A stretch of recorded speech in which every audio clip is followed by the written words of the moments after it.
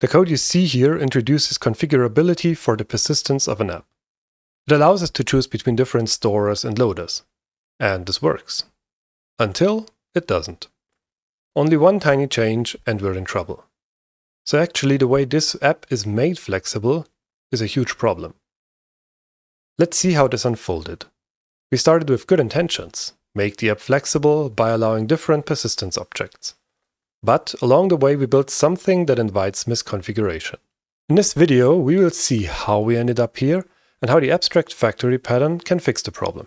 And if you already know about the abstract factory pattern, then stick around anyways, because we'll discuss different ways to implement it in Rust and discuss the trade-offs. It all started with this little app. Nothing fancy, just hard-coded JSON persistence. Need to store something, it goes to JSON. Need to load something, also JSON. No choices, no surprises.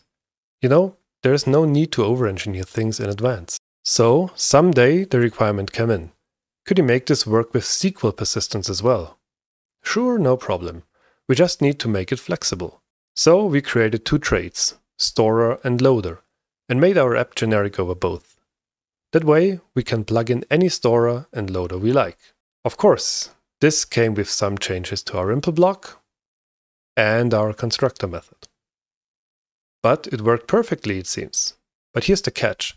We didn't just add flexibility, we added too much flexibility. Now we can do this, which technically compiles, but makes no sense at all.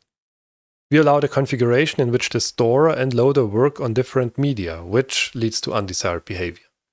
So, this begs the question, is there a way we can leverage the compiler such that misconfigurations can never happen? Well, if I'm asking like that, you already know the answer. Of course there is. And it is a classic, the abstract factory pattern. Let's take a look at what it is, how to use it, and how it can solve this very problem. The point where the misconfiguration can happen is our constructor method. It takes two separate objects, a storer and a loader.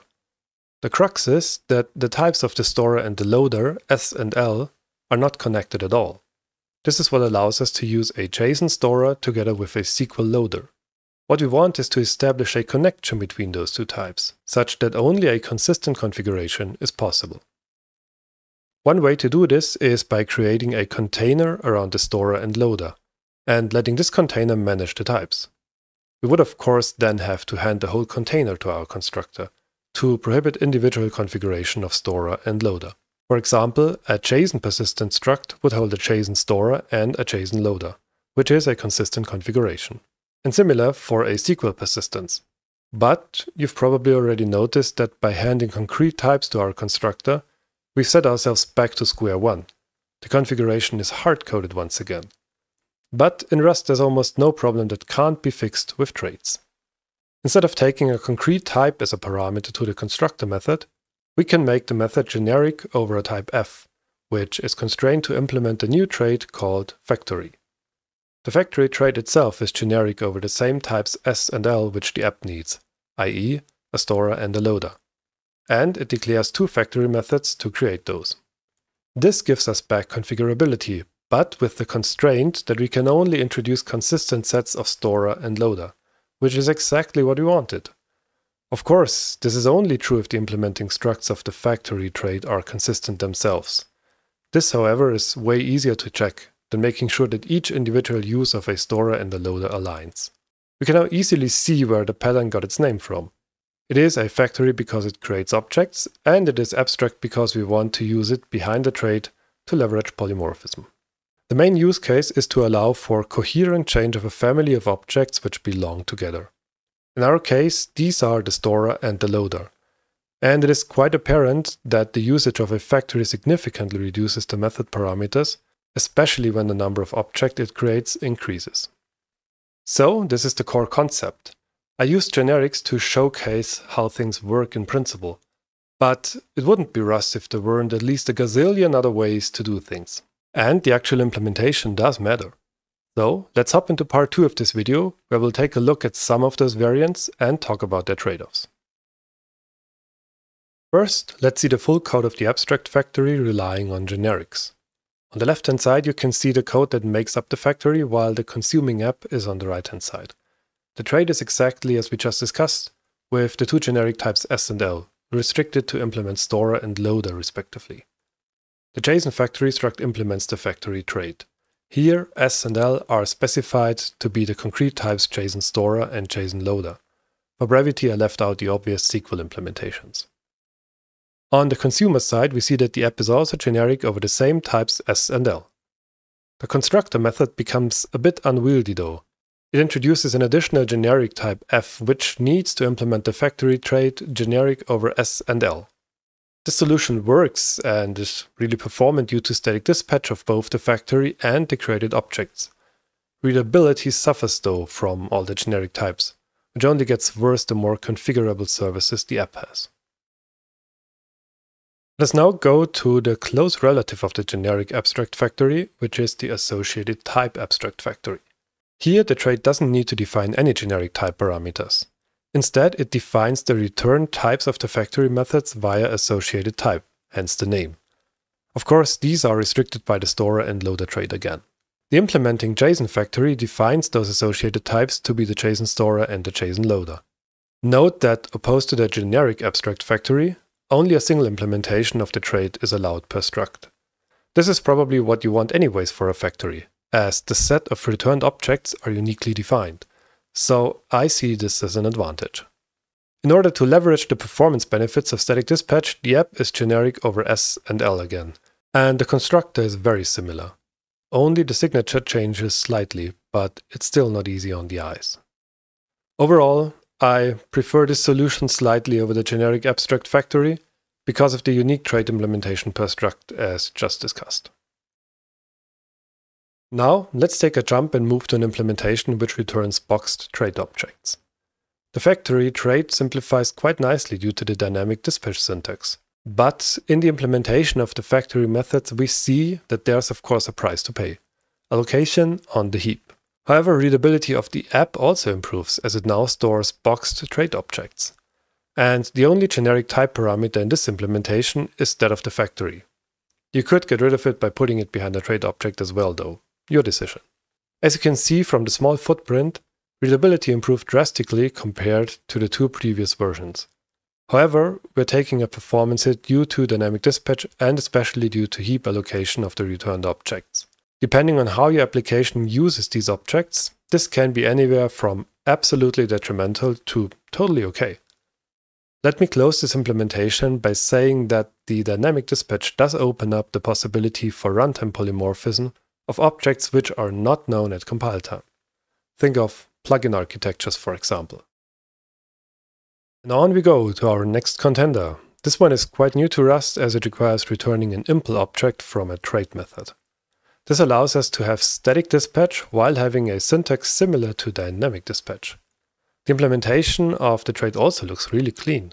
And in order to keep aligned with static dispatch, we use the generic version of our app. The constructor is also straightforward and simple.